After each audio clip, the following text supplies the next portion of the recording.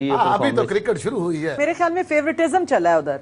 हाँ। तो जो फेवरेट लोग थे उनको सेलेक्ट किया गया और जो हमारे मुल्क का सरमाया है जो जिन्होंने कोई डिलीवर करना था जिन्होंने परफॉर्मेंस करनी थी शायद उनको रोका मुझे तो ऐसे लगता है कि जैसे अगले पाँच साल जिनको निकालना था उनको ले गए और जिनको खिलाना था उनको छोड़ गए। कहीं ऐसा तो नहीं है?